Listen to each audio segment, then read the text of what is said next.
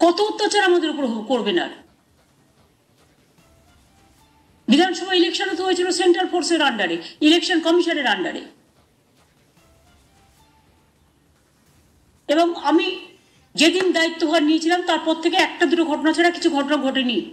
যা ঘটেছে under the election commission the administration of central ঘটেছে। এখন পর্যন্ত সেই ছেলেগুলো জেলে আছে। তাদের ধরে ধরে রেখে দেওয়া হয়েছে। আজকে আমরা কৃতজ্ঞ যে সুপ্রিম কোর্ট আমার বত্রিশ হাজার ছেলে মেয়ে চাকরি ফিরিয়ে দিয়েছে। আমরা সরকার থেকে আবেদন জানিয়েছিলাম। যদি কোথাও কোনো ভুল ভুল ভ্রান্তি হয়, মনে রাখবেন গণতন্ত্রটা সবাইকে নিয়ে। এক দফা মানুষ তো কাজ করছে না। এখানে কোঅর্ডিনেশন কমিটির অনেক লোক আছে সরকারি কর্মচারী। তারা তো অনেক জায়গায় ব্যালট পেপারে সই করেনি। ফলে আমাদের অনেক ব্যালট বাতিল হয়েছে। দশ টাকার। তাহলে তার বিরুদ্ধে পানিশমেন্ট নেওয়া হবে না কেন? একটা মানুষ, সাধারণ মানুষ ভোট দিতে গিয়ে দেখবে যে কোন সিগনেচারটা আছে, কোন সিগনেচারটা নেই। এত যদি সবাই বুঝতো, তাহলে আর গরিব মানুষ, নিম্নবর্তী মানুষ, মধ্যবিত্ত মানুষের মধ্যে, উচ্চবিত্ত মানুষের মধ্যে এত ফারাক থাকতো না। এখনও আছে। এই ভোটটা হয় ব্যালট বক্সে। ব্যালটের মাধ্যমে, তিনটে কাগজ থাকে।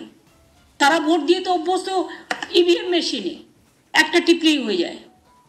কিন্তু এখানে যিনি প্রিসাইডিং অফিসার বা যিনি কাউন্টিং এজেন্ট, কাউন্টিং অফিসার, এগুলো তো তাদের আগে থেকে ইনস্ট্রাকশন দিয়ে করা উচিত ছিল ট্রেনিং দিয়ে করা উচিত ছিল। এর জন্য আমরা স্যার, বিরোধী দল নয়। এই জন্য আমাদের তৃণমূল কংগ্রেসের অনেকগুলো সিটে পঞ্চাশটা ভোট বাতিল হয়েছে, একশোটা ভোট বাতিল হয়েছে। তাও কিন্তু দেখুন, পার্টি শৃঙ্খলাবদ্ধ আছে বলে আমরা কাউকে কোথাও কোনো ঘেরাও, কোনো গণ্ডগোল, কোনো কিচ্ছু করতে অ্যালাউ করিনি। আমরা চেয়েছিলাম শান্তির পথে প্রোগ্রামটা হোক। এবং আপনারা অনেকে জানেন না, গতকাল যারা বড় বড় ভাষণ দেয় টিভিতে, সবাই কিন্তু ঘুমোতে চলে গেছিল।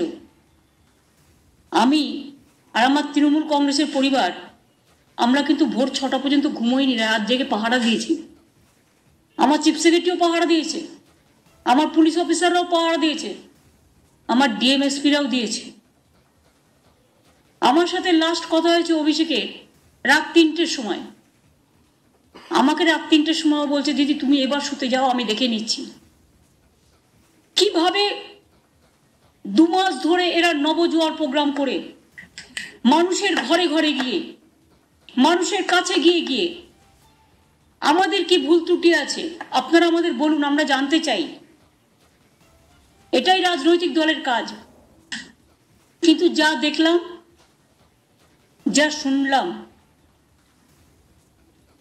এমনকি আমায় মাথায় যখন মেরেছিল, মেরে ফেলার জন্য আপনারা সবাই জানেন, পার্লামেন্ট একজন হয়ে গিয়েছিল রাজ্যসভা। যে ডেট বলে। আর সেখানে বলছে, মাথায় ফেটটি বেঁধে ইলেকশনের সময় ঘোরে। জানি তার আঘাতটা কতটা গুরুতর ছিল?